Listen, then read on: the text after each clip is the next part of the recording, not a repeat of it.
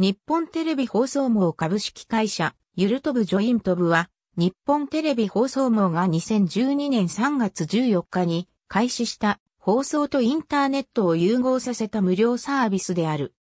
日本テレビの深夜番組、IT 情報番組やイコンにてスタートし、数多くの TV 番組と連携し、日本テレビに限らず、ワウワウなどの番組でも楽しむことができたサービスである。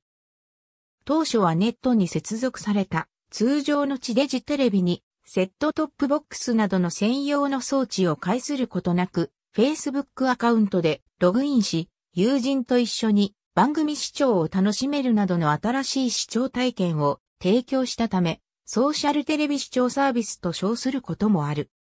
JoinTVとはネットに接続された地デジテレビやスマートフォンなどで利用できるテレビ番組をインタラクティブ化、ソーシャル化させるトータルプラットフォームソリューションで放送と通信を活用したマスとパーソナルの融合を目指したシステムである。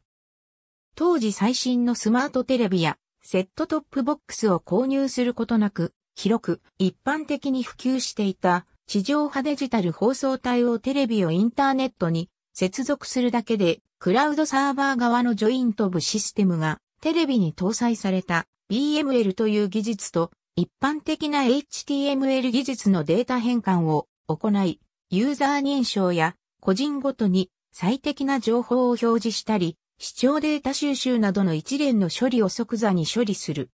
当初は Facebook アカウントでテレビの画面上に視聴者の Facebook 上の友達が表示され、離れた場所にいても一緒に番組を楽しむことができる世界観で打ち出した。テレビは1位に同じ情報を出すことを得意としている媒体だが、オンラインと組み合わせると、人に応じて情報を出し分けることができることも強調。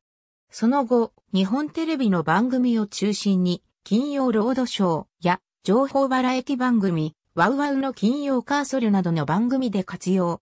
2013年11月に、ジョイント部の仕組みを活用して、高齢者の支援、災害対策支援を行う JoinTown プロジェクトでも活用された。